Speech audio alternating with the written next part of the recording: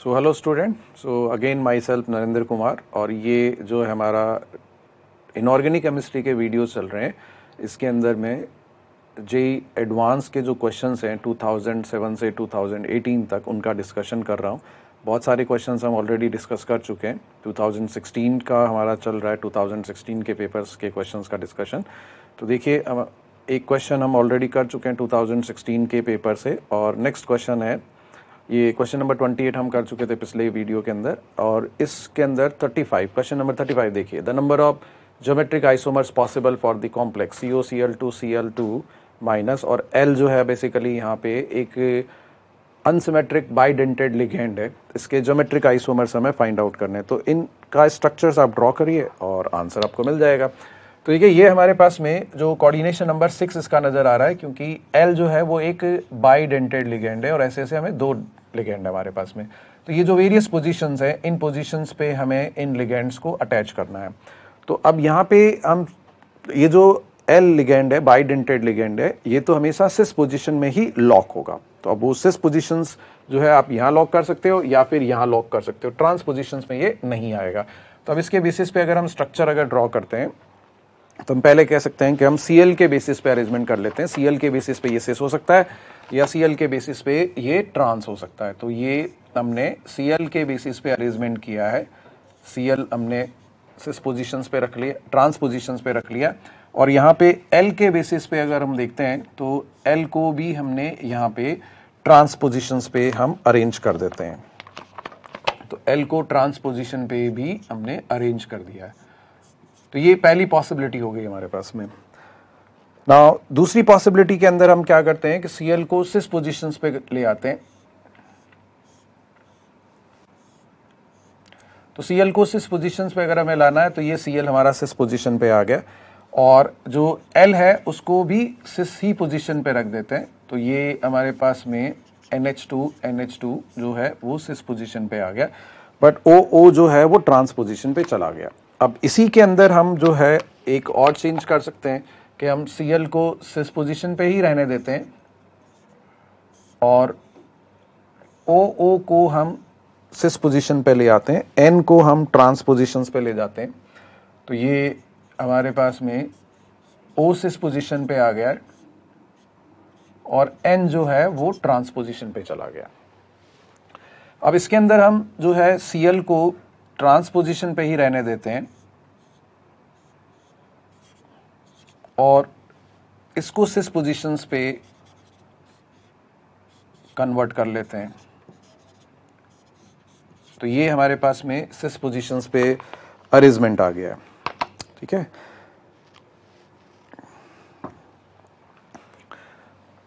सो ये one two three four हो गए वन टू थ्री फोर हो गए और एक अरेंजमेंट यहाँ पे हमारे पास में हम ऐसे कर लेते हैं, जिसमें हम ऑल सिस कर लेते हैं। तो ऑल सिस के अंदर ये सी एल सी एल हमारा सिस हो गया और ये यहाँ पे जो भी हम लगाना चाहते हैं, वो एन एच टू हमने लगा दिया और यहाँ पर हम ये जो है, वो N H two O place कर देते हैं। तो ओ को अगर आप देखोगे तो ये एडजस्टेंट पोजिशन पे है।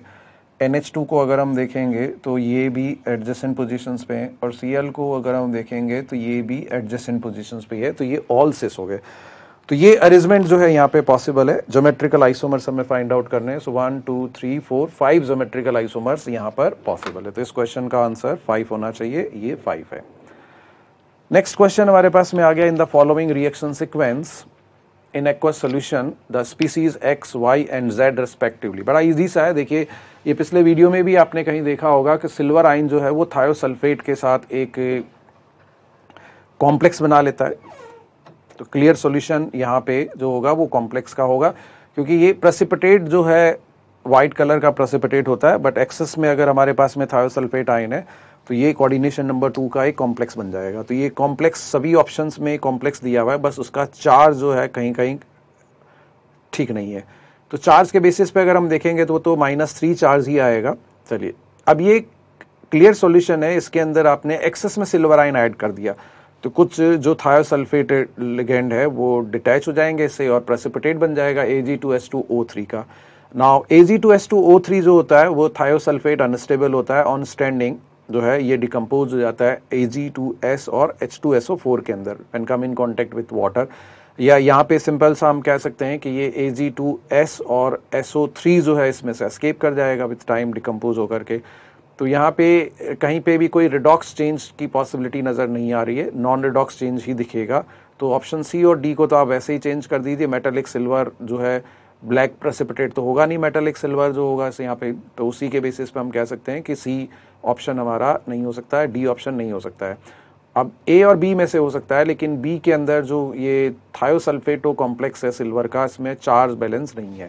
सो so, क्योंकि कोऑर्डिनेशन नंबर थ्री के बेसिस पे ये चार्ज इन्होंने फाइंड आउट किया है बट सिल्वर के कॉम्प्लेक्सेज में सिल्वर का जो कोऑर्डिनेशन नंबर होता है वो कोऑर्डिनेशन नंबर टू ही होता है फ़र्स्ट थिंग अगर आप मान भी लेते हैं कि चलिए कोऑर्डिनेशन नंबर थ्री जो है, इसके लिए कंसिडर कर लिया क्या बुराई है बट ये यहाँ पे जो है एक्सेस में सिल्वर आइन जब उसके अंदर ऐड करेंगे इस कॉम्प्लेक्स के अंदर तो ये सिल्वर सल्फेट सिल्वर सल्फाइट जो है प्रोड्यूस नहीं होगा। सिल्वर थायोसल्फेट ही प्रोड्यूस होगा। तो ए ऑप्शन इसके लिए बेटर चॉइस है। तो ए हमारा करेक्ट आंसर हो गया। नेक्स्ट क्वेश्चन जो है geometries of the ammonia complexes of nickel platinum and Z N two plus respectively ये किसी प्रीवियस वीडियो में भी मैंने आपको कहा था कि निकल के जो कॉम्प्लेक्सेस होते हैं chloro complex cyano complex amine complex carbonyl complexes इनकी ज्योमेट्रीज जो है इंपॉर्टेंट होती है है ना? अब यहाँ पे सब अमोनिया कॉम्प्लेक्सेज हैं यहाँ पे। तो एक न्यूट्रल है न्यूट्रल के साथ जनरली जो है वो higher coordination number easily attend हो सकता है।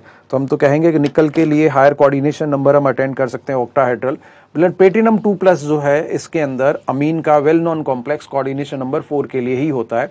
तो स्क्वायर प्लेनर आ जाएगा हमारे पास में अमीन के कॉम्प्लेक्सेस तो दो ही ऑप्शन है, इसमें ऑक्टाहाइड्रल भी दे सकता है, लेकिन ये जो हमारे पास में निकल टू प्लस अमोनिया के साथ वेल नॉन जो है ऑक्टाहाइड्रल कॉम्प्लेक्स ही बनाता है। जेड एन टू प्लस जो है, वो हमारा अगेन एक जो है टेट्राइडल भी हो सकता है और ऑक्टाइडल भी हो सकता है। दोनों ही टाइप के कॉम्प्लेक्सेज इसके अंदर नज़र आ रहे हैं इस के लिए।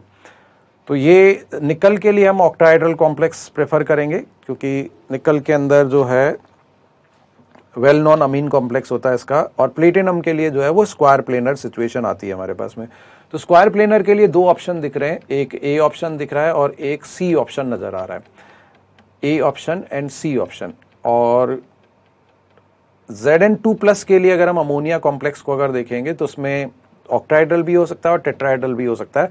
बट इसका जो डी ऑर्बिटल है, वो कंप्लीटली फिल्ड है। तो कंप्लीटली फिल्ड होने की वजह से इसका जो जिंक के अंदर इतने सारे इलेक्ट्रॉन है तो डी ऑर्बिटल इसका अवेलेबल नहीं है बॉन्डिंग के लिए तो इसलिए हायर कोऑर्डिनेशन नंबर ये अटेंड नहीं कर पाएगा। इसी टाइप से पीटी टू प्लस में भी हम कह सकते हैं कि ये जो है डी टेन टाइप का हो गया। रीअरेंज होकर के एट सॉरी डी एट हो गया यहाँ पे और रीअरेंज होकर के एक डी ऑर्बिटल ये वैकेंट करवा पा रहा है। तो इसलिए यहाँ पे इसने डी ऑर्बिटल को यूटिलाइज कर लिया। एक ही डी ऑर्बिटल प्रोवाइड कर रहा है, इसलिए ये स्क्वायर प्लेनर चला जाएगा और स्ट्रॉन्ग फ़ील्ड लिगेंड है यहाँ पे तो इसलिए ये कोऑर्डिनेशन नंबर सिक्स को अटेंड नहीं कर पाएगा। प्लेटिनम के साथ में वैसे भी जो है हमारी स्प्लिटिंग बहुत ज़्यादा होती है तो ये जो सारे जो है लो स्पिन कॉम्प्लेक्सेस प्रोड्यूस होते हैं तो उस लॉजिक के बेसिस पे हम कहेंगे कि जिंक के अंदर डी कम्प्लीटली फिल्ड है और डी कम्प्लीटली फिल्ड होता है तो higher coordination number easily attend नहीं हो पाता क्योंकि इसके अंदर जो आउटर डी ऑर्बिटल के अंदर ही कोऑर्डिनेट होना पड़ेगा। तो मेरे हिसाब से बेस्ट चॉइस इसके अंदर निकल के लिए ऑक्टाइडल जोमेट्री हो जाएगा प्लेटिनम के लिए स्क्वायर प्लेनर जोमेट्री हो जाएगा और जेड एन टू प्लस के लिए टेट्राइडल जोमेट्री हो जाएगा, क्योंकि ये डी टेन है जो इनर डी ऑर्बिटल अगर अवेलेबल होता है बॉन्डिंग के लिए तो easily higher coordination number attend हो जाता है। आप एक्सेस में अमोनिया डालोगे तो आ ही जाएगा उस चीज़ के लिए, ठीक है? लेकिन वो अनस्टेबल होगा ईजिली डिकम्पोज हो सकता है। तो मेरे हिसाब से जिंक के लिए हम टेट्राहाइड्रल कंसिडर करेंगे square planar platinum two plus के लिए और निकल टू प्लस के लिए ऑक्ट्राहाइड्रल कंसिडर कर लेंगे। तो मेरी ओपिनियन में इस क्वेश्चन का आंसर ए होना चाहिए और वो ए हमें नज़र आ रहा है। नाउ 2016 पेपर टू का एक और क्वेश्चन आ गया extraction of copper from copper pyrite involve copper pyrite एक सल्फाइड है हमारे पास में और सल्फाइड से किसी मेटल को एक्सट्रैक्ट करते समय हम जो है फोर्थ फ्लोटेशन करते हैं फिर रोस्टिंग करते हैं और उसके अंदर फिर सेल्फ रिडक्शन होता है और कॉपर है इसलिए उसके अंदर हम बेसिकली इलेक्ट्रोलिटिक रिफाइनिंग भी करते हैं तो ये सारा जो हमारा एक क्राइटेरिया हो गया क्या क्या स्टेप्स होते हैं। तो देखिए extraction of copper from copper pyrite involve crushing followed by concentration of the ore by froth flotation ये करेक्ट ऑप्शन है। Removal of iron as slag yes इसमें जो भी हम रोस्टिंग जब आप करोगे तो एफ़ ओ बन जाएगा और फिर इसके अंदर हम S I O two add करेंगे तो एफ़ ई ये जो हमारे पास में F E S I O three produce हो जाएगा तो स्लैग बन जाएगा बी भी करेक्ट है। Self reduction step to produce blister copper following evolution of SO two right ये भी करेक्ट है। Refining of blister copper by carbon reduction no copper is not refined blister copper is not refined by carbon reduction blister copper is refined by electrolytic refining process तो D correct नहीं है। ए B सी इसके लिए correct option है। तो ये A B C correct choices इसके लिए नेक्स्ट क्वेश्चन 2016 पेपर टू से nitrogen containing compounds produced in the reaction of HNO3 with P4O10 HNO3 और P4O10 रिएक्ट कर रहे हैं नाइट्रोजन कंटेनिंग कंपाउंड प्रोड्यूस हो रहा है उसको उसकी इंफॉर्मेशन के बारे में बताना है। तो HNO3 जो है, वो एक ऑक्सो एसिड है और P4O10 एक वेरी स्ट्रॉन्ग डिहाइड्रेटिंग एजेंट है। तो P4O10 HNO3 को डिहाइड्रेट कर देगा और इसका एनहाइड्राइड बना देगा। HNO3 का जो एनहाइड्राइड होता है, वो N2O5 होता है। So H N O HNO3 when reacts with P4O10 produce N2O5 और ये वाटर एब्जॉर्ब करके HPO3 होल N बन जाएगा मेटाफॉस्फोरिक एसिड या फिर ये H3PO4 डिपेंड करेगा कि कितना एक्सटेंट में ये हाइड्रोलाइज हो रहा है, किस टाइप से, ठीक है? बट फ़र्स्ट स्टेज पे तो हम यही कहेंगे कि ये जो है हमारे पास में P4O10 जो है वो ओपन हो गया, एक साइक्लिक कंपाउंड ओपन होकर के एक ये पॉलीमेरिक फॉर्म के अंदर ये एग्जिस्ट कर रहा है। So nitrogen containing compound produce in the reaction of HNO3 with P4O10 can also be prepared by reaction of P4 and HNO3 तो P4 को HNO3 के साथ अगर रिएक्ट कराएँगे तो H3PO4 बनेगा नाइट्रोजन कंटेनिंग कंपाउंड और ये HNO3 से जो है वो NO2 प्रोड्यूस होगा। तो ये तो गलत है कि HNO3 को P4 के साथ अगर हम रिएक्ट कराएँगे तो फॉस्फोरस कंटेनिंग कंपाउंड जो है वो H3PO4 बनेगा प्लस नाइट्रोजन कंटेनिंग कंपाउंड जो है वो NO2 बनेगा। यहाँ पे क्या बन रहा है? N2O5 बन रहा है तो ए नहीं है। इस डायमैग्नेटिक, ये एक डायमैग्नेटिक स्पीसीज है लोइस डॉट स्ट्रक्चर इसका बनाएँगे तो सारे इलेक्ट्रॉन्स पेयर्ड ही नज़र आएँगे contains one N N bond no इसमें एन एन बॉन्ड नहीं होता है। एन एन बॉन्ड जो है वो, एक तो N2O के अंदर एन एन बॉन्ड होता है और N2O3 के अंदर एन एन बॉन्ड होता है और N2O4 के अंदर एन एन बॉन्ड होता है और किसी के अंदर जो है एन एन बॉन्ड की पॉसिबिलिटी नहीं आएगी। तो बी करेक्ट है सी करेक्ट नहीं है। Reacts with sodium metal producing a brown gas ये बिल्कुल ठीक है। ये जो N2O5 है, ये एक सॉलिड सब्सटेंस है।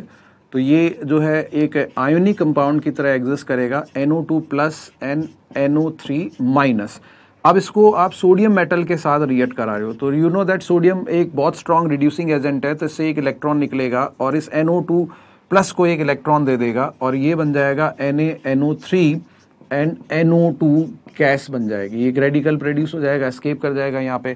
ये एक रिड्यूसिंग एजेंट है, यहाँ पे जो नाइट्रोजन है, उसका रिडक्शन कर देगा इसके लिए। और एक्सेस में अगर सोडियम है तो ये जो बन रहा है, ये फर्दर यहाँ से रिड्यूस होकर के अल्टीमेटली फिर ये एन टू ओ के अंदर रह जाएगा, सारा नाइट्रोजन बाहर चला जाएगा।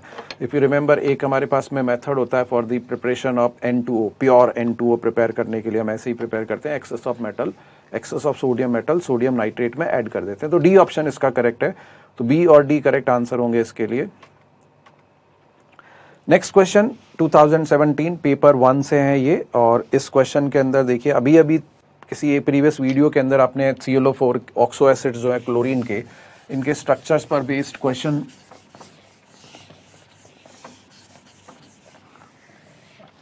देखा होगा आपने। So correct statement about the oxo acids H C L O four and H C L O तो इनके स्ट्रक्चर्स ड्रॉ कर लेते हैं। तो ये स्ट्रक्चर्स इनके अगर हम ड्रॉ करते हैं H C L O four का तो ये हमारे पास में H C L O four का स्ट्रक्चर है। And H C L O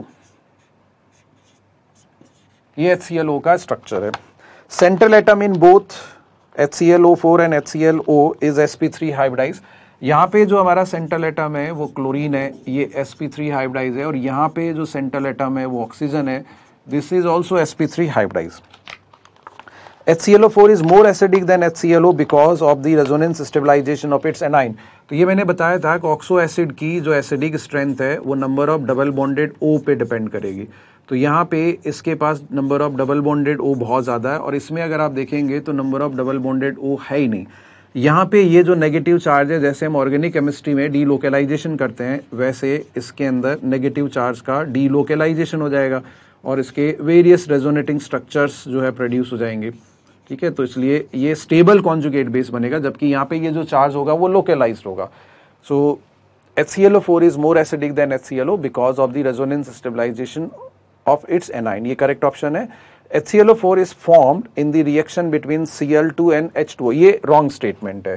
C L two और एच टू ओ को जब हम रिएक्ट कराते हैं तो क्लोरीन डिस्प्रपोर्शनेट हो जाता है और इस डिस्प्रपोर्शनेशन से ओ सी एल प्रोड्यूस होता है। H C L O four जो है प्रोड्यूस नहीं होगा। तो सी ऑप्शन करेक्ट नहीं है। O four is weaker base than H two O तो यहाँ पे H C L O four और एच को अगर हम कंपेयर करेंगे तो ये स्ट्रॉन्गर एसिड है और ये इसके रेस्पेक्ट में वीकर एसिड है। तो इसका जो कॉन्जुगेट बेस होगा और इसका कॉन्जुगेट बेस होगा तो यहाँ पे ये स्ट्रॉन्गर एसिड है तो ये कॉन्जुगेट बेस जो होगा, वो वीकर कॉन्जुगेट बेस आ जाएगा। और ये वीकर एसिड है, इसलिए ये स्ट्रॉन्गर कॉन्जुगेट बेस हो जाएगा हमारे पास में। So conjugate base of H C L O four is weaker base than H two O तो एच टू ओ से भी वीकर हो जाएगा ये।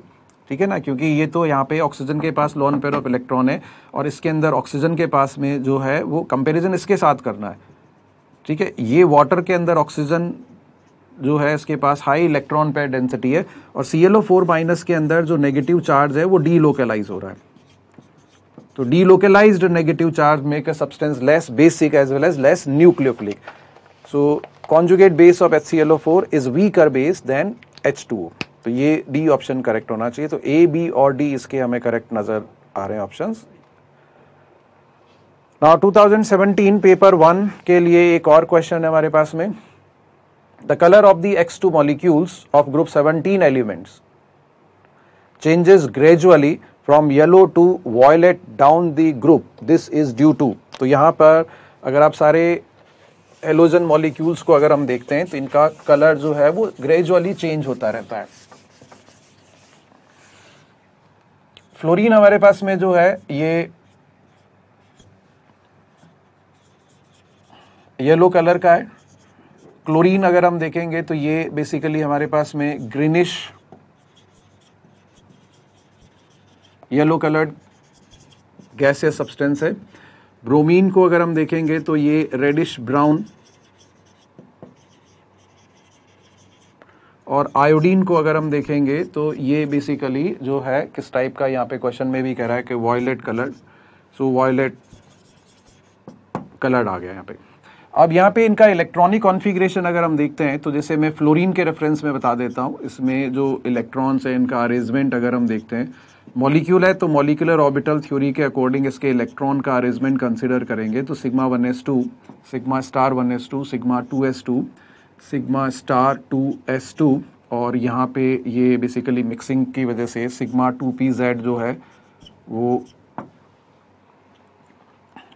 मिक्सिंग तो हो नहीं रही है यहाँ पे, इसलिए pi two P X lower energy का नहीं होगा pi two P X higher energy का ही होगा और ये सिग्मा टू पी जेड जो है लोअर एनर्जी का होगा।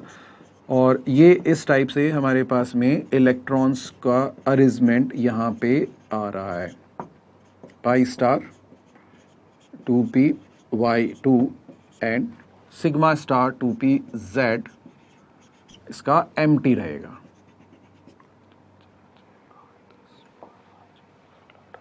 तो इसके जो 18 इलेक्ट्रॉन्स हैं, उनको हमने डिस्ट्रीब्यूट कर दिया। ऐसे ही बाकी सबके इलेक्ट्रॉन्स का डिस्ट्रीब्यूशन करोगे। तो ये वेरियस मॉलिकुलर ऑर्बिटल्स का प्रिंसिपल क्वांटम नंबर चेंज होता जाएगा और लास्ट में जो है हमारे पास में, ये इसी टाइप से अरेंजमेंट हमें दिखाई देगा। तो अब यहाँ पे जो बेसिकली क्या है कि ये जो हमारे पास में ऑर्बिटल है, ये इसके अंदर दो इंपॉर्टेंट ऑर्बिटल्स हो गए। ये highest energy occupied molecular orbital है होमोज होमोज का मतलब हो गया highest energy occupied molecular orbitals highest energy occupied molecular orbitals है। इसको अगर हम देखेंगे तो ये लूमोज है lowest energy lowest energy unoccupied molecular orbital और भी बहुत सारे मॉलिकुलर ऑर्बिटल है बट जितने भी अनऑक्यूपाइड मॉलिकुलर ऑर्बिटल्स है, उसमें ये लोवेस्ट एनर्जी वाला है। और जितने भी ऑक्यूपाइड मॉलिकुलर ऑर्बिटल है, उसमें ये हाईएस्ट एनर्जी वाला है। तो इसके अंदर ये फ़ील्ड है और ये वैकेंट है। यहाँ से इलेक्ट्रॉन का एक्साइटेशन इसके अंदर होगा। और इस एक्साइटेशन के अंदर जो है फोटोन यूज़ होगा। और ये जो फोटोन होगा, वो विजिबल रेडिएशन का फोटोन होगा। ठीक है? विजिबल फोटोन विजिबल रेडिएशन का फोटोन जो है, यहाँ पे यूज़ हो रहा है। विजिबल रेडिएशन का फोटोन हमें कंसिडर करना है।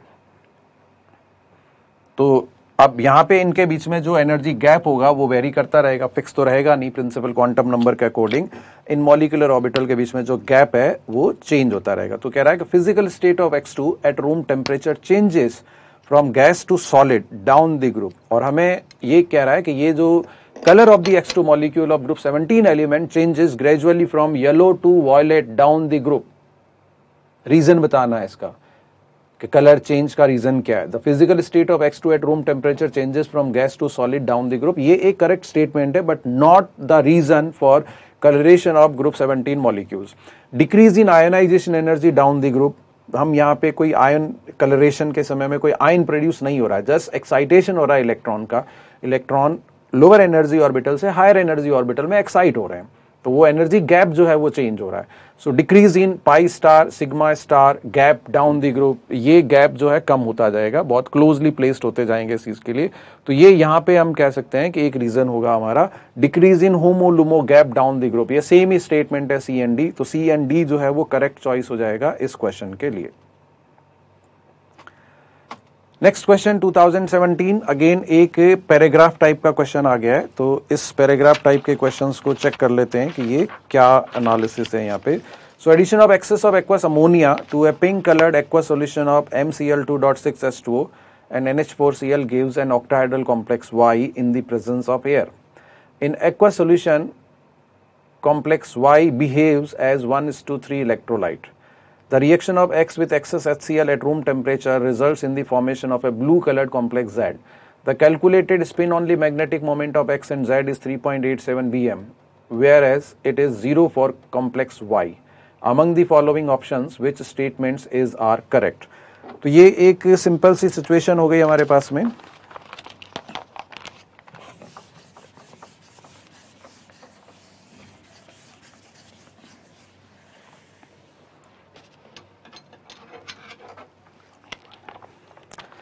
So, addition of excess ammonia to a pink colored aqueous solution of MCl2 ये MCl2.6H2O है. ये पिंक कलर का है. और इस पिंक कलर के अंदर एक्सेस ऑफ़ अमोनिया हमने ऐड कर दिया. Gives an octahedral complex Y तो ये यहाँ पे एक ऑक्टाहाइड्रल कॉम्प्लेक्स बन गया है.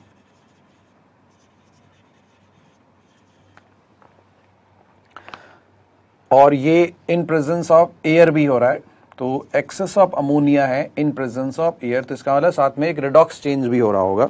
ऑक्सीडाइजिंग एजेंट की तरह ये बिहेव कर रहा होगा। Now in aqua solution complex Y behave as one is to three electrolyte तो ये one is to three electrolyte type का है।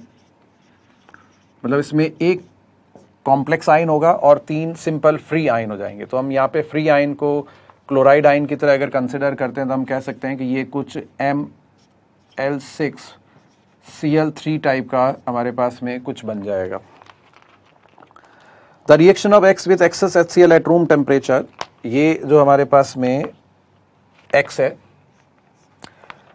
reaction of X with excess H C L at room temperature result in the formation of a blue coloured complex Z तो इसको अगर हम access of H के साथ रिएक्ट कराते हैं। रूम टेम्परेचर पर एक इंपॉर्टेंट इंफॉर्मेशन गिवन है। Result in the formation of blue coloured complex Z तो ये जेड जो बन रहा है, वो ब्लू कलर्ड का बन गया है। Calculated spin only magnetic moment of X and Z is 3.87 bm तो यहाँ पे इसका जो हमारे पास में 3. 87 bm कैलकुलेटेड वैल्यू है। और इसके लिए भी ये कह रहा है three point eight seven B M calculated value है स्पिन ओनली मैग्नेटिक मोमेंट की। एक्स एन जेड के लिए। तो ये क्या क्या ऑप्शंस हो सकते हैं? तो देखिए, ये पिंक कलर्ड कॉम्प्लेक्स गिवन है यहाँ पे। पिंक कलर्ड कंपाउंड गिवन है। तो हम यहाँ पे इसको एक्वा कॉम्प्लेक्स की तरह कंसिडर कर सकते हैं।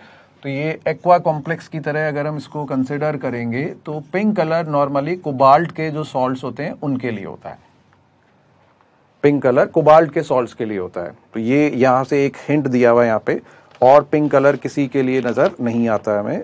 ठीक है जी? तो अब यहाँ पे हम चेक कर लेते हैं कि ये अगर हमारा कोबाल्ट का कोई एक्वा कॉम्प्लेक्स है तो अमीन कॉम्प्लेक्स एयर की प्रेजेंस में अगर हम बनाएँगे तो मैंने कहा था कि जैसे कोबाल्ट टू प्लस होता है, वो कॉम्प्लेक्सेस के अंदर इजीली ऑक्सीडाइज हो जाता है। तो ये इस टाइप का हमारा एक ऑक्ट्राइड्रल कॉम्प्लेक्स बन जाएगा प्लस थ्री ऑक्सीडेशन स्टेट के अंदर। कोबाल्ट को हमने यहाँ पे एम को कोबाल्ट कंसिडर किया है। सो so, अब ये कह रहा है कि addition of silver nitrate to Y gives only two equivalent of silver chloride Y हमारे पास में ये है। इसके अंदर अगर हम सिल्वर नाइट्रेट ऐड करेंगे तो three equivalent of silver chloride जो है प्रसिपिटेट हो जाएगा। और ये क्वेश्चन भी कह रहा है कि one is to three electrolyte type का है। So addition of silver nitrate to Y gives only two equivalent of silver chloride A is incorrect hybridisation of the central metal ion in Y is d two s p three तो ये यहाँ पे cobalt जो है हमारे पास में plus two oxidation state में था। तो cobalt plus two oxidation state में थ्री डी सेवन होता है। और यहाँ पे ये ऑक्सीडाइज होकर के प्लस थ्री ऑक्सीडेशन स्टेट में चला गया है तो ये थ्री डी सिक्स हो जाएगा और ये पेयर अप होकर के इसका जो हाइब्रिडाइजेशन स्टेट हमें दिखाई देगा, वो d two s p three बन सकता है। इनर ऑर्बिटल अमोनिया एक स्ट्रॉन्ग लिगेंड है। तो ये करेक्ट है। Z is a tetrahedral complex तो ये यहाँ पे हमारे पास में एक्सेस ऑफ़ एचसीएल अगर हमने डाल दिया। तो ये जो है सिंपल सा एक इक्लिवियम हो जाएगा C O H two O whole six C L two अब यहाँ पे अगर हमने excess of H C L अगर ऐड कर दिया इसके अंदर तो ये C O C L four two minus plus six H two O अलग हो जाएगा।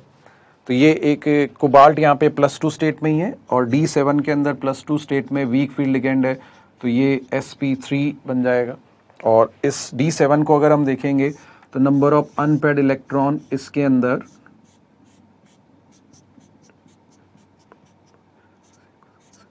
ये तीन अनपेड इलेक्ट्रॉन हमें मिल रहे हैं और तीन अनपेड इलेक्ट्रॉन का मतलब है एन की वैल्यू फाइव हो गई सो so, ये Z टेट्राइडल कॉम्प्लेक्स हो गया हमारा when X and Z are in equilibrium at zero degree Celsius ये X है और ये Z है तो देखिए रूम टेम्परेचर पर भाई ये इधर जा रहा है तो रूम टेम्परेचर पर ये इधर जा रहा है और लेस देन रूम टेम्परेचर अगर हम देखेंगे ज़ीरो डिग्री सेल्सियस पर अगर हम देखेंगे तो ये बेसिकली इस फॉर्म में रूम टेम्परेचर पे ये इस फॉर्म में एग्जिस्ट कर रहा है। तो X and Y are in equilibrium at zero degree Celsius the colour of the solution is pink ये इक्विलिब्रियम जो है हमारा टेम्परेचर बढ़ाने से फॉरवर्ड डायरेक्शन में जा रहा है एंडोथर्मिक टाइप का हो रहा है। तो यहाँ पे हम कह सकते हैं कि ये बेसिकली है endothermic that's why at room temperature remain shifted on this direction इसमें ड्राइविंग फोर्स जो है वो एक ये एंट्रोपी ड्रिवन प्रोसेस है यहाँ पर जो हमारे पास में दो पार्टिकल के बदले में सिक्स पार्टिकल जनरेट हो गए यहाँ पे तो ये एंट्रोपी ड्रिवन टाइप का प्रोसेस हो गया so endothermic equilibria on decreasing temperature moves towards backward direction. So x and z are in equilibrium at 0 degree Celsius. The color of the solution is pink. तो B correct है, C correct correct है और D correct है। ए तो correct नहीं था हमारा। तो इसका आंसर बी सी डी नज़र आ रहा है। Next question order of the oxidation states of the phosphorus atom in H3PO2, H3PO4, H3PO3 and H4P2O6 तो यहाँ पे सिंपल सा है S3PO2 के अंदर फॉस्फोरस की जो ऑक्सीडेशन स्टेट है वो प्लस वन हो जाएगी। लोवेस्ट ऑक्सीडेशन स्टेट S3PO2 के अंदर आएगी। एक ही ऑप्शन है जिसमें लोवेस्ट ऑक्सीडेशन स्टेट S3PO2 की बिल्कुल लास्ट ऑर्डर के अंदर है।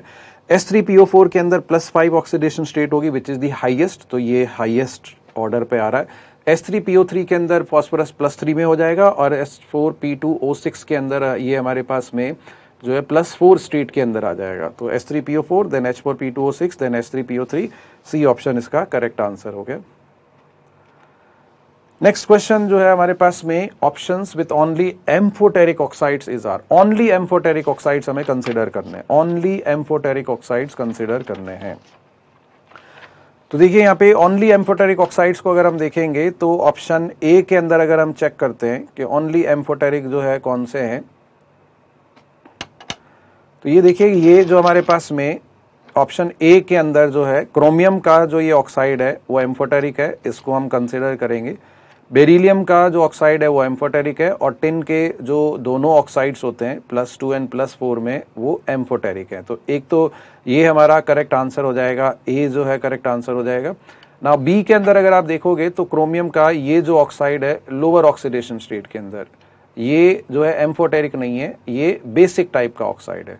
तो इसलिए इसको हम यहाँ पे कंसिडर नहीं करेंगे। This is basic not amphoteric C option में अगर हम देखेंगे तो ये जो है यहाँ पे न्यूट्रल टाइप का ऑक्साइड हो गया, इसलिए सी ऑप्शन वैलिड नहीं होगा और B two O three non metal oxide है तो ये भी एसिडिक हो गया, इसको कंसिडर नहीं करेंगे।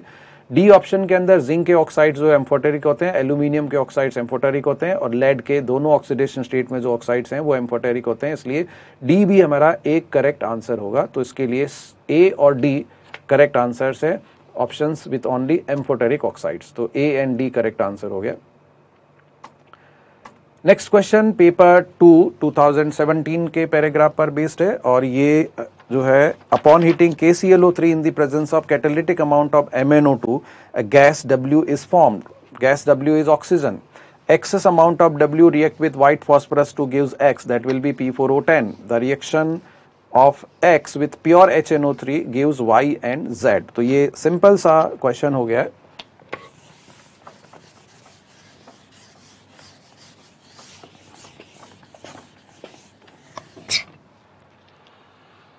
सो K C L O three है। के सी एल ओ थ्री को जब हम हीट करेंगे तो ये K C L and oxygen produce हो जाएगा। तो डब्ल्यू हमारा ऑक्सीजन आ गया।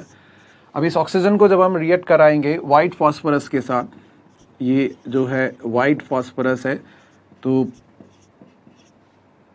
पी फोर ओ टेन बन जाएगा। ये बन गया हमारा X reaction of X with P pure H N O three ये जो एच एन ओ थ्री है, वो बिल्कुल प्योर है। तो वाई एंड जेड प्रोड्यूस हो जाएगा। तो एच एन ओ थ्री तो कन्वर्ट हो जाएगा एन टू ओ फाइव के अंदर। और पी फोर ओ टेन जो है, वो एच पी ओ थ्री के अंदर कन्वर्ट हो जाएगा। वाटर यहाँ पे बिल्कुल भी नहीं है तो इसलिए मैंने पहले भी बताया था कि एक्सेस में वाटर होगा, तब ये S three P O four produce होगा। बट ये डिहाइड्रेटिंग एजेंट की तरह काम कर रहा है तो ये सिंपल सा पॉलीमेटा फॉस्फोरिक एसिड के अंदर कन्वर्ट हो जाएगा। तो पॉलीमेटा फॉस्फोरिक एसिड के अंदर ये कन्वर्ट हो गया हमें चेक करना है कि क्या ऑप्शन होगा। ठीक है जी? तो W एंड X के बारे में बात हो रही है। तो W तो हमारा O2 है और X जो है वो P4 O10 है। तो O2 and P4 O10 option C में गिवन है। तो आंसर चेक कर लेते हैं। ऑप्शन सी करेक्ट आंसर है।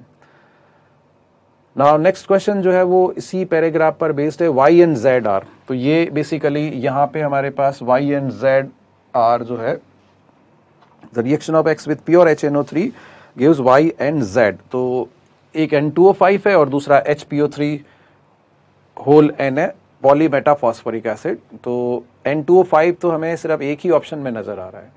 देखिए इस क्वेश्चन के अंदर क्या कमाल है? एक ही ऑप्शन के अंदर एन टू ओ फाइव नज़र आ रहा है तो दूसरा क्या बनेगा, क्या नहीं बनेगा, उसके बारे में आपको सोचने की ज़रूरत भी नहीं है। तो आंसर बी हमारा इसका करेक्ट ऑप्शन हो गया। नेक्स्ट टू थाउज़ेंड 18 के क्वेश्चन पेपर से हमें क्वेश्चंस मिल रहे हैं तो 2018 का क्वेश्चन पेपर जो देखते हैं। Compounds which generates N two gas upon thermal decomposition below 300 degree Celsius below 300 degree Celsius पे हम हीट कर रहे हैं, जिसका मतलब हाईली कोवलेंट टाइप का कंपाउंड होना चाहिए, पहली बात तो। और इजीली डिकम्पोज हो जाना चाहिए। नाइट्रोजन गैस जो है प्रोड्यूस होनी चाहिए उसके अंदर। तो इसका मतलब उसके अंदर कोई एक हमारे पास में ऑक्सीडाइजिंग एनाइन होना चाहिए अमोनियम टाइप का कोई है और ऑक्सीडाइजिंग एनाइन टाइप का है तो नाइट्रोजन गैस होनी चाहिए। तो यहाँ पे देखिए बी और सी तो एक्यूरेटली हम जानते हैं अच्छी तरीके से कि these two compounds on heating produce only and only N two gas और ये इजीली जो है वो डिकम्पोज हो जाते हैं on heating below 300 degree Celsius now A के अंदर जो है जनरली इसमें एन टू ओ प्रोड्यूस होता है। N2O on further heating get decomposed to produce N2 and O2 but ये 300 डिग्री सेल्सियस पे रिएक्शंस नहीं होगी। ये अबव 300 डिग्री सेल्सियस पे रिएक्शन होगी NH अमोनियम नाइट्रेट को हीट करने से। और वैसे भी जनरली हम ये कहते हैं कि ammonium salt having oxidising anion on heating produce N2 और N2O तो अमोनियम नाइट्रेट से N2O बनता है, बाकी सबसे N2 ही बनता है। मैग्नीशियम नाइट ट्राइड जो है, वो भी काफ़ी ज़्यादा कोवलेंट हो गया, बट इतना ज़्यादा कोवलेंट नहीं होगा कि इजीली जो है वो डिकम्पोज हो जाएगा। बाकी के रेस्पेक्ट में बहुत ज़्यादा ये थोड़ा सा आयोनिक टाइप का है। मैग्नीशियम रिएक्टिव होता है नाइट्रोजन के साथ रिएक्ट कर जाता है तो लोअर टेम्परेचर पर तो ये कंबाइंड फॉर्म में ही रहेगा। हायर टेम्परेचर पर ये डिकम्पोज होकर के अलग हो सकता है। सो ए और डी में डाउट है, ये हम कंसिडर नहीं करेंगे। बी और सी अप्रोप्रिएटली यूज़ कर सकते हैं नाइट्रोजन गैस जनरेट करने के लिए। तो बी और सी इसका करेक्ट आंसर होगा। ऑफिशियल आंसर नहीं है मेरे पास में अभी यहाँ पे तो मैं बताता जाऊँगा आपको क्या है। नेक्स्ट क्वेश्चन कह रहा है based on the compounds of group 15 elements the correct statement is are तो ग्रुप 15 एलिमेंट्स की बात हो रही है। B2O5 is more basic then N2O5 B2O5 जो है हमारा एक मेटल ऑक्साइड है। Metal oxides are basic in nature N2O5 जो है वो नॉन मेटल ऑक्साइड है। Non metal oxides are acidic in nature तो ये करेक्ट स्टेटमेंट है। B2O5 is more basic then N2O5 ये करेक्ट स्टेटमेंट है। NF3 is more covalent then BiF3 वो मेटल फ्लोराइड है और ये नॉन मेटल फ्लोराइड है। नॉन मेटल फ्लोराइड कोवलेंट होंगे। मेटल फ्लोराइड जो होंगे, वो आयोनिक होंगे। तो बी ऑप्शन जो है, वो भी हमारा करेक्ट ऑप्शन है। PS3 boils at lower temperature than NH3 NH3 और PS3 नेबरिंग मेंबर्स है अपने ग्रुप्स के अंदर। हाइड्राइड्स की कैटेगरी के अंदर अगर देखेंगे तो NH3 के अंदर हाइड्रोजन बॉन्डिंग होगी तो इसका बॉइलिंग पॉइंट हायर होगा। PS3 के अंदर simple van der Waals forces होंगे। नेबरिंग मेंबर के अंदर हम हाइड्रोजन बॉन्डिंग के बेसिस पे इजीली बता सकते हैं। तो सी जो है, वो भी करेक्ट स्टेटमेंट है। The N single bond is stronger than P single bond no second period element जो होते हैं have a strong tendency to form P pi P pi bond so nitrogen के पास ऑप्शन होता है पाई बॉन्ड बनाने का तो इसलिए ये सिंगल बॉन्ड नहीं बनाएगा and third period element have a less tendency to form p pi p pi bond so they have a strong tendency to form single bonds तो इसलिए nn single bond is weaker than pp single bond तो ये statement जो है incorrect statement होगा। तो इसके लिए करेक्ट स्टेटमेंट जो है वो A B and C correct statements हैं। नेक्स्ट क्वेश्चन की तरफ़ हम मूव करते हैं और ये नेक्स्ट क्वेश्चन आ गया among the species given below the total number of diamagnetic species total number of diamagnetic species हमें फाइंड आउट करना है। तो total number of diamagnetic species इसके अंदर अगर हम चेक कर लेते हैं, पहले तो कुछ सिंपल स्पीसीज ही गिवन है। तो इन सिंपल स्पीसीज को हम मार्क कर लेते हैं, क्या है? देखिए, मैं इसमें मार्क करता हूँ कि पैरामैग्नेटिक कौन सा? हाइड्रोजन एटम एक ऑड इलेक्ट्रॉन स्पीसीज है तो इसलिए ये पैरामैग्नेटिक हो गया। हमें डायमैग्नेटिक कंसिडर करने हैं तो इसको हमें कंसिडर नहीं करना। NO2 अगेन एक जो है ऑड इलेक्ट्रॉन स्पीसीज है तो ये भी पैरामैग्नेटिक होगा, इसको भी हमें कंसिडर नहीं करना है। ये सुपर ऑक्साइड आइन की बात कर रहा है, ये भी ऑड इलेक्ट्रॉन स्पीसीज होगा, ये भी पैरामैग्नेटिक होगा, इसको भी हमें कंसिडर नहीं करना है। Dimeric sulphur in vapour phase ये बिल्कुल O2 की तरह होता है, ठीक है? तो ये dimeric sulphur in vapour phase O2 की तरह होगा, ये भी पैरामैग्नेटिक हो जाएगा। नाउ MN3O4 को अगर हम देखेंगे तो MN3O4 जो है बेसिकली MnO2 और MnO का एक मिक्सचर है। MnO2 एंड MnO का मिक्सचर है। तो दोनों में ही मैग्नीज के पास में अनपेड इलेक्ट्रॉन होंगे ही होंगे तो ये भी जो है पैरामैग्नेटिक हो जाएगा। तो इसको तो पूछना चाहिए पैरामैग्नेटिक कौन कौन से होंगे? नाउ यहाँ पे ये हमारे पास में iron plus two oxidation state के अंदर है। तो three D six four S two के अनुसार थ्री डी सिक्स हो गया। सी एल माइनस जो है, इसके अंदर वीक फ़ील्ड लिगेंड है। तो ये भी पैरामैग्नेटिक ही होगा। और यहाँ पे ये निकल डी एट है। Sp3 होगा, ये भी पैरामैग्नेटिक ही हो जाएगा। K2MnO4 के अंदर मैंगनीज जो है, वो प्लस सिक्स ऑक्सीडेशन स्टेट के अंदर है। तो इसके पास में भी अनपेड इलेक्ट्रॉन रहेगा यहाँ पे। तो अनपेड इलेक्ट्रॉन रहेगा इसके पास में भी तो ये भी पैरामैग्नेटिक हो जाएगा। और ये क्रोमियम जो है हमारा, वो प्लस सिक्स ऑक्सीडेशन स्टेट के अंदर है। तो थ्री डी सिक्स ये three D five four S one के हिसाब से प्लस सिक्स ऑक्सीडेशन स्टेट में क्रोमियम के पास में zero number of unpaired electron आएँगे तो ये हमारा एक डायमैग्नेटिक सब्सटेंस होगा। तो ये डायमैग्नेटिक अकेला इसके अंदर सिर्फ़ K two C R O four है। तो इसका आंसर एक ही है। नेक्स्ट क्वेश्चन यहाँ पे आ गया। Correct statement regarding the binary metal carbonyl compounds is are तो बाइनरी मेटल कार्बोनेट की बात हो रही है। The total number of valence electrons at metal centre in F E C O whole five and N I C O whole four is sixteen नहीं, ये यहाँ पे हमारे पास में total electron at metal centre अगर हम देखेंगे तो मेटल के अपने जो है यहाँ पर इलेक्ट्रॉन हमें देखने से पता लग रहे हैं कि three D six four S two के अकॉर्डिंग एट इलेक्ट्रॉन इसके हैं और सी ओ से जो है कुछ इलेक्ट्रॉन कोऑर्डिनेट हो रहे हैं। तो इफ़ेक्टिव एटॉमिक नंबर रूल के अनुसार अगर आप निकालेंगे यहाँ पे तो एट इलेक्ट्रॉन जो है वो एफ़ ई के हैं। और टेन इलेक्ट्रॉन जो है, वो ओ के यहाँ से कोऑर्डिनेटेड है। तो टोटल 18 इलेक्ट्रॉन जो है, इसके अंदर नज़र आ रहे हैं। सिमिलरली इसके अंदर अगर हम देखेंगे N I C O whole four को, ये भाई जो 18 इलेक्ट्रॉन रूल कह सकते हो, या इफ़ेक्टिव एटॉमिक नंबर रूल कह सकते हो, उसको फॉलो कर रहा है। तो एन होल फोर को अगर हम देखेंगे तो ये हमारे पास में three D eight four S two हो गया। तो three D eight four S two के हिसाब से टेन इलेक्ट्रॉन तो निकल के आ गए। और एट इलेक्ट्रॉन जो है यहाँ पे सीओ से आ गए तो ये भी एटीन इलेक्ट्रॉन आ रहे हैं यहाँ पे। तो total the correct statement regarding the binary transition metal carbonyl compound हमें फाइंड आउट करना। तो ए ऑप्शन हमारा करेक्ट नहीं है। They are predominantly low spin in nature बिल्कुल सीओ जो होता है वो हमारा एक स्ट्रॉन्ग फ़ील्ड लिगेंड होता है।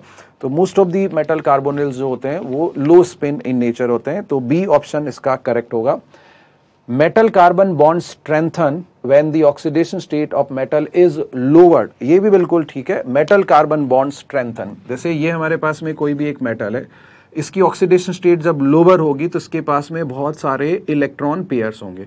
और ये जब सीओ के साथ कोऑर्डिनेट हो जाएगा तो सीओ के साथ जब ये कोऑर्डिनेट हो जाएगा तो ये हम ऐसे सोच सकते हैं कि ये एक कोऑर्डिनेट बॉन्ड बन गया। इस कोऑर्डिनेट बॉन्ड को मैं ऐसे सिंगल बॉन्ड की तरह भी विजुलाइज कर सकता हूँ। तो कोऑर्डिनेट बॉन्ड को सिंगल बॉन्ड की तरह जब हम विजुलाइज करेंगे तो यहाँ पे ये माइनस है और ये प्लस है। तो एक्सेप्टर जो होगा वो नेगेटिवली चार्ज हो जाएगा और डोनर जो होगा वो पॉजिटिवली चार्ज हो जाएगा। तो नेट चार्ज कार्बन के पास में ज़ीरो आ जाएगा। तो अब यहाँ पे जब ये इसके अंदर लोअर ऑक्सीडेशन स्टेट में होगा तो डी के अंदर बहुत सारे इलेक्ट्रॉन्स होंगे और ये बहुत सारे इलेक्ट्रॉन बैक बॉन्डिंग करेंगे। बैक बॉन्डिंग की वजह से इस मेटल कार्बन बॉन्ड के अंदर एक टाइप से हम कह सकते हैं कि डबल बॉन्ड करेक्टर डेवलप होना स्टार्ट हो जाएगा। जैसे ऑर्गेनिक केमिस्ट्री में करते हैं, उसी टाइप से यहाँ पे ये होने लगेगा। तो ये मेटल कार्बन बॉन्ड में डबल बॉन्ड करेक्टर आएँगे बैक बॉन्डिंग की वजह से सिनर्जिक बॉन्डिंग की वजह से तो ये मेटल कार्बन बॉन्ड स्ट्रेंथन हो जाएगा। मेटल कार्बन बॉन्ड का बॉन्ड ऑर्डर बढ़ जाएगा। कार्बन ऑक्सीजन बॉन्ड वीकर हो जाएगा। कार्बन ऑक्सीजन बॉन्ड का बॉन्ड ऑर्डर कम हो जाएगा। तो स्टेटमेंट सी जो है वो करेक्ट स्टेटमेंट है। Carbonyl bond weakens when the oxidation state of metal is increased. Metal की ऑक्सीडेशन स्टेट अगर आप बढ़ा देंगे तो उसके अंदर जो है बैक बॉन्डिंग की पॉसिबिलिटी तो होगी नहीं। तो बैक बॉन्डिंग की पॉसिबिलिटी जब होगी नहीं तो सीओ बॉन्ड वीक कैसे होगा? सीओ बॉन्ड तो स्ट्रांग ही रहेगा इसके लिए यहाँ पे। So CO bond weakens when the oxidation state of metal is increase no ये स्टेटमेंट हमारा ठीक नहीं है। CO bond weakens when the oxidation state of metal is decreased तो इसके अंदर बी और सी जो है वो करेक्ट चॉइसेस हैं। 2018 का हमारे पास में एक और क्वेश्चन आ गया है। तो ये कुछ न्यूमेरिकल टाइप का क्वेश्चन है। तो इस न्यूमेरिकल टाइप के क्वेश्चन के अंदर कह रहा है ammonia prepared by treating ammonium sulfate with calcium hydroxide is completely used by NiCl2.6H2O to form a stable coordination compound. Assume that both the reactions are 100% complete. If 1584 gram of ammonium sulfate and 952 gram of NiCl2.6H2O is used in the preparation, the combined weight in grams of gypsum and the nickel ammonia coordination compound thus produced is. ये simple stoichiometry है आप reactions में लिख देता हूं तो उस पर सिंपल स्टोइक्योमेट्रिकली कैलकुलेशन जैसे हम करते हैं तो वैसे कैलकुलेशन कर दी तो पहले, सबसे पहले क्या हो रहा है कि अमोनिया प्रिपेयर किया हमने ammonium sulphate and calcium hydroxide की रिएक्शन से। तो अमोनियम सल्फेट और कैल्शियम हाइड्रोक्साइड की रिएक्शन से हमने अमोनिया प्रिपेयर कर लिया। ठीक है? तो ये हम देखेंगे यहाँ पे strong base can displace weak base तो ये अमोनिया आ गया यहाँ पे और ये बन जाएगा हमारे पास में कैल्शियम सल्फेट। दो वाटर मॉलिक्यूल साथ में आ जाएँगे यहाँ पे।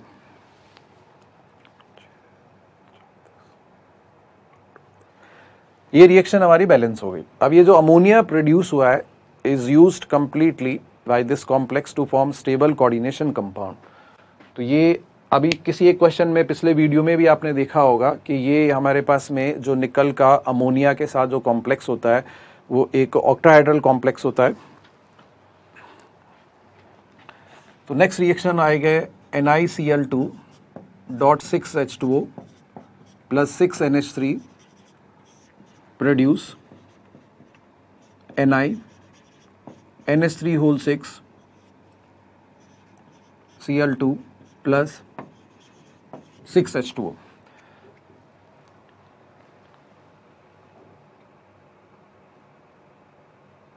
both the reactions are 100% complete. So, ammonium sulfate और इस कॉम्प्लेक्स का मास दिया हुआ है are use in preparation combined weight in gram of gypsum and ये जिप्सम है हमारे पास में। तो इसका मास निकाल लेंगे कितना है? और ये हमारे पास में इसका कोऑर्डिनेशन कंपाउंड है। इसका मास निकाल लेंगे कितना है? तो ये यहाँ से हमारे पास में ये अमोनियम सल्फेट का हमें मास गिवन है। तो अमोनियम सल्फेट का one five eight four divided by इसका जो भी मोलर मास है एम वन ले लेते हैं। ठीक है? तो इससे जो है हमारे पास में one five eight four upon M आ जाएगा divided by molar mass of ये जो भी हमारे पास में जिप्सम है इसको एम डैश ले लेते हैं multiplied by molar mass of gypsum इतने ग्राम ये कंपाउंड बन जाएगा।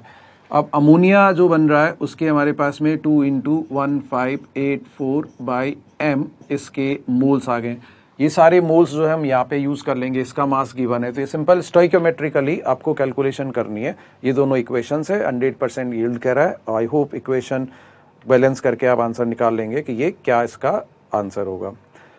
नेक्स्ट क्वेश्चन कह रहा है correct state correct option regarding the complex तो यहाँ पे एक ई एन लिगेंड दे रखा है थाइलिन डाइमीन और तीन एन एच थ्री लिगेंड है और एक ही एच टू है. It has two geometrical isomers इसके स्ट्रक्चर से बना लेते हैं.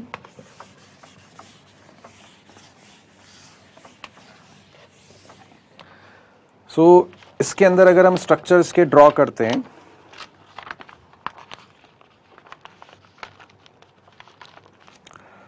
तो देखिए ईएन जो है, वो एक बाइडेंटेड लिगेंड है तो इस बाइडेंटेड लिगेंड को तो सिस पोजीशंस पे ही आपको लॉक करना होगा। तो ये हमने इथाइलिन डायमीन को सिस पोजीशंस पे लॉक कर दिया। अब तीन NH3 है और एक H2 है। तो तीनों NH3 को मैं अगर यहाँ पे जैसे फेशियल एंड मेरीडायोनल टाइप की जो पोजीशंस होती है, उन पे अटैच कर देता हूँ। तो एक ये बन गया। और दूसरा जो है, इसको यहीं पे हमने लॉक करके रखा हुआ है।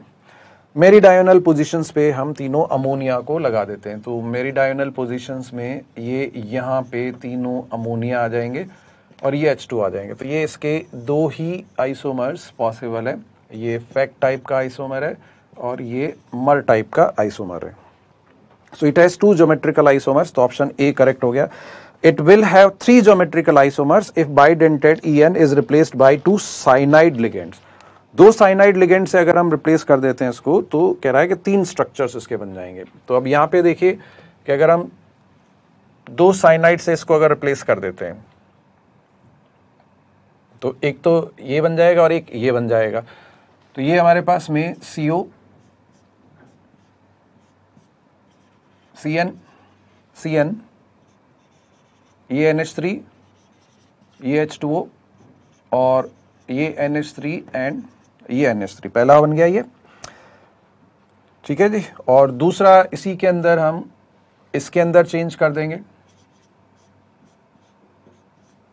ये एन एच थ्री ये एन एच थ्री ये एच टू ओ ये एन एच थ्री ये सी एन एंड ये सी एन ना तीसरी पॉसिबिलिटी है कि सी एन जो है हमारा मोनोडेंटेड लिगेंड हो गया तो अब ये सी एन ट्रांसपोजिशन में भी हम प्लेस कर सकते हैं तो सी एन को ट्रांसपोजिशन में अगर प्लेस करेंगे तो ये रिमेनिंग थ्री पोजिशंस पे हमारा अमोनिया आ जाएगा और वो फिर इस टाइप से हम इसका अरेंजमेंट कर सकते हैं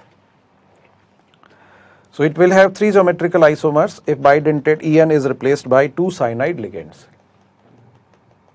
तो दो तो हमने ये कंसिडर कर लिया एक्सिस पोजीशन पे हो जाएँगे सी एन और सी एन जो है वो ट्रांस पोजीशन पे हो जाएगा। तो सी एन को ट्रांस पोजीशन पे अगर देखते हैं तो उसके अंदर हमारे पास में जो है वो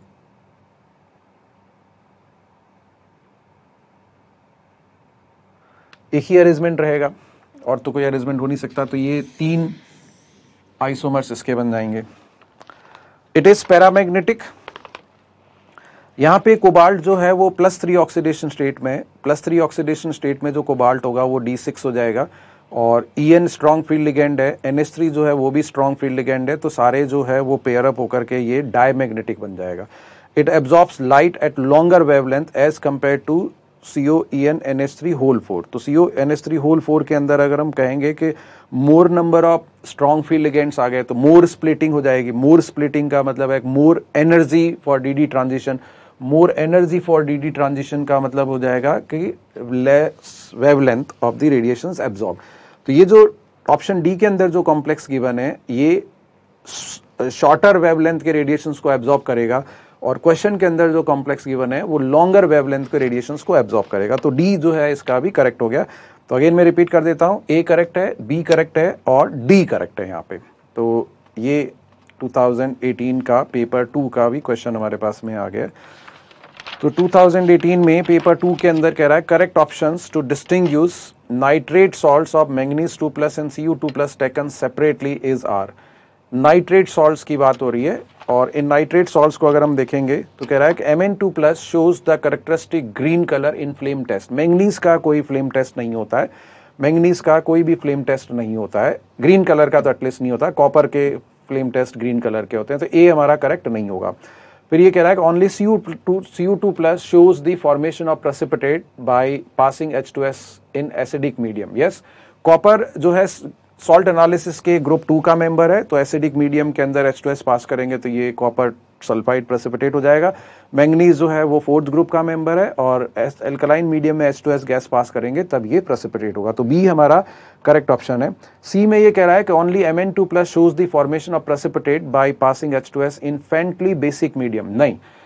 जो एसिडिक मीडियम में प्रेसिपिटेट होते हैं, वो बेसिक मीडियम में भी H two S gas pass करने से प्रेसिपिटेट हो जाते हैं। तो only M N two plus shows the formation of precipitate by passing H two S gas in faintly basic medium not true और डी ऑप्शन में कह रहा है C U two plus to C U has higher reduction potential than M N two plus to M N measured under similar condition तो ये तो एक well known fact है जो हमारे पास में फ़र्स्ट सीरीज़ है डी ब्लॉक एलिमेंट्स की, इसके अंदर M two plus to M वाला जो स्टैंडर्ड रिडक्शन पोटेंशियल है, वो कॉपर के लिए जो है वो पॉजिटिव होता है, बाकी सब के लिए जो है वो नेगेटिव होता है। तो ये हायर रिडक्शन पोटेंशियल की वैल्यू यहाँ पर आ रही है तो बी और डी इसके अंदर हमारे करेक्ट चॉइसेस हो जाती हैं B and D correct choices इसके अंदर। फिर total number of compounds having at least one bridging oxo groups bridging oxo group का मतलब हो गया कि ये हमें कोई एक एलिमेंट है, इसको ऑक्सीजन से, इसी एलिमेंट से हमें कनेक्ट करना इस टाइप का स्ट्रक्चर हमें देखना है कि किसके अंदर होता है। तो देखिए अगेन यहाँ पे हम कंसिडर कर लेते हैं कि ये इस टाइप का स्ट्रक्चर जो है हमें किस किस के अंदर मिलता है। तो एक तो ये जैसे देखिए एन टू ओ थ्री के जो है दो टाइप के स्ट्रक्चर्स होते हैं। तो दो टाइप के स्ट्रक्चर्स के बेसिस पे हम कह सकते हैं कि एक ये भी हमारा आंसर होगा और एन टू फाइव में तो होगा ही होगा ब्रिजिंग वाला N O N bond P four O six के अंदर भी पी फोर का जो स्ट्रक्चर होता है, उसमें पी पी के बीच में ऑक्सीजन इंसर्ट कर दो तो वो पी ब्रिजिंग टाइप का ही हो गया। और पी फोर ओ सेवन के अंदर भी हो जाएगा पी फोर ओ सेवन के अंदर भी आएगा। पी फोर ओ सिक्स का स्ट्रक्चर बना लो और किसी एक फॉस्फोरस के साथ में डबल बॉन्डेड ओ और ऐड कर दो। P four H four P two O five H four P two O five basically ये हमारा जो फॉस्फोरस एसिड होता है H three P O three उसका एन हाइड्राइड है। तो सारे एन हाइड्राइड के अंदर ब्रिजिंग ऑक्सो ग्रुप होता है। और ये H five P three O ten जो है, इसको अभी चेक कर लेते हैं। इसमें तो नहीं होगा हमारा, ठीक है? और इसमें भी नहीं होगा तो ये भी हमारा नहीं है। ये तो स्ट्रक्चर्स सल्फ़र के अंदर जो दो सल्फ़र है, उसमें एस एस बॉन्ड तो एक ही के अंदर होता है H two S two O seven के अंदर। अब ये जो हमारे पास में इसके अंदर भी हमें मिलेंगे इतने सारे ऑक्सीजन इसका स्ट्रक्चर मैं बता देता हूँ कि किस टाइप का होगा। तो ये बेसिकली यहाँ पे तीन फॉस्फोरस एटम है और ये तीन फॉस्फोरस एटम जो है, वो ऑक्सीजन से, इस टाइप से लिंक रहेंगे। जो मिडल वाला फॉस्फोरस है, ये जो पॉलीफॉस्फोरिक एसिड है, उसके बेसिस पे मेटाफॉस्फोरिक एसिड जो है पॉली मेटाफॉस्फोरिक एसिड उसके बेसिस पे इसका स्ट्रक्चर बना रहे हैं। तो जो एंड यूनिट्स होती है, उसमें एक ब्लॉकिंग एजेंट हमें वाटर ही ऐड करना होगा। तो देखिए one two three four five H आ गए। दस ऑक्सीजन हो गए और तीन फॉस्फोरस हो गए। तो ये यहाँ पे जो है ब्रिजिंग ऑक्सो ग्रुप आ गया। So one two three four five six species के अंदर ये हमारा one bridging oxo group at least one now next question जो है, ये अगेन एक न्यूमेरिकल टाइप का क्वेश्चन है। Galena is partially oxidise by passing air through it at high temperature after some time the passage of air is stop but the heating is continued in a closed furnace such that the content undergo self reduction the weight in kg of pb produced per kilogram of o2 consumed is. तो ये simple stoichiometric type की reaction हो गई। तो यहाँ पे मैं reaction बता देता हूँ क्या होगी, और बाकी सिंपल स्टोइकोमेट्री आपको अप्लाई करनी है, और वो अप्लाई करके आप क्वेश्चन का आंसर कर सकते हैं। तो ये हमारे पास में पी है।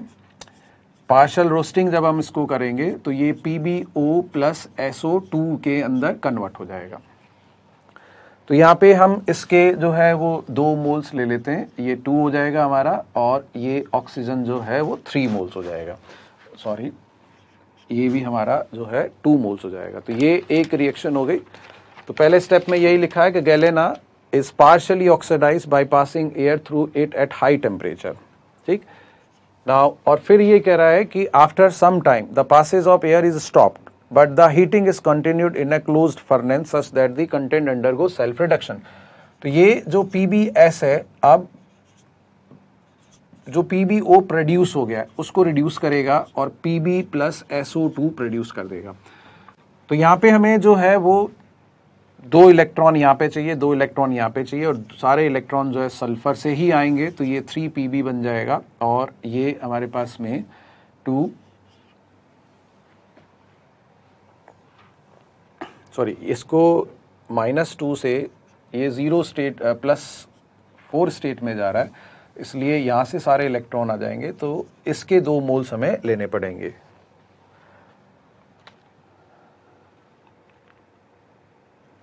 सो दो इलेक्ट्रॉन इसके लिए और चार इलेक्ट्रॉन इसके लिए तो सिक्स इलेक्ट्रॉन हो जाएँगे। इन दोनों रिएक्शंस को अगर हम ऐड कर देते हैं तो ये P B O P B O तो हमारा एक इंटरमीडिएट टाइप होगा और सेपरेट हो जाएगा। So three P B S plus three O two gives three P B plus three S O three तो डायरेक्टली हम यहाँ पे कह सकते हैं, हमें कह रहा है weight in KG of lead produced per kilogram of O two consumed so यहाँ पे हम कह सकते हैं कि moles of O two use are equal to moles of P B formed तो वन किलोग्राम ऑक्सीजन हमने ले लिया है तो थाउज़ेंड बाई थर्टी टू तो इसका जो मास होगा ग्राम में आ गया और लेड का एटॉमिक मास गिवन है, ठीक है टू ज़ीरो सेवन तो मास ऑफ़ लेड जो है, हम फाइंड आउट कर सकते हैं। तो thousand by thirty two into two zero seven ये हमारा जो है वो ग्राम में आ गया। अब इसको हम किलोग्राम में कन्वर्ट कर सकते हैं। तो किलोग्राम में इसको कन्वर्ट करेंगे तो आप थाउज़ेंड से इसको डिवाइड कर देंगे और चेक कर लीजिए कि इसका आंसर जो है वो क्या आ रहा है। डायरेक्टली आप वन के जी वन के जी में आंसर आ जाता है। तो ये जो भी हमारा डब्ल्यू बाई थाउज़ेंड के जी इज़ दी आंसर तो इसको सॉल्व करने से जो भी आपका आंसर आ रहा है that is the correct choice ये जो है यहाँ पे 6.47 के करीब हमें इसका आंसर नज़र आ रहा है। Now next question again Jo hai measure the quantity of MnCl2 dissolved in an aqueous solution. It was completely converted to KMnO4 using the reaction. Few drops of concentrated HCl were added to this solution and gently warmed. Further oxalic acid was added in portion till the color of the permanganate ion disappeared. The quantity of MnCl2 in milligram present in the initial solution is तो ये simple again एक जो है reaction stoichiometry यहाँ पे use हो रही है। तो सिंपल सा हम यहाँ पे कैलकुलेशन अगर करते हैं।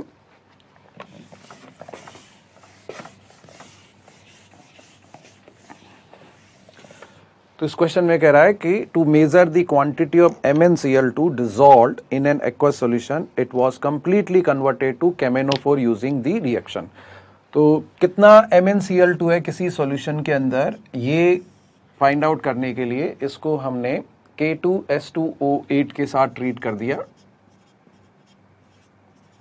और ये कन्वर्ट हो गया केमेनो फोर के अंदर। Few drops of concentrated H C L were added to this solution and gently warm further oxalic acid was added to दोर्शन till the colour of permanganate disappear तो यहाँ पे जो है, इसके अंदर हमने ऑक्जेलिक एसिड एड कर दिया। In presence of H C L और पर्पल कलर जो है वो डिसअपेयर हो गया। इसका अलावा M N C L M N two plus produce हो गया और कार्बन डाइऑक्साइड गैस जो है वो रिलीज़ हो गई। तो ये इस टाइप की हमारी रिएक्शन हो गई। तो ये दो स्टेप में ये प्रोसेस हो रहा है। इस स्टेप के अंदर अगर हम देखेंगे तो ये प्लस सेवन से प्लस टू चला गया।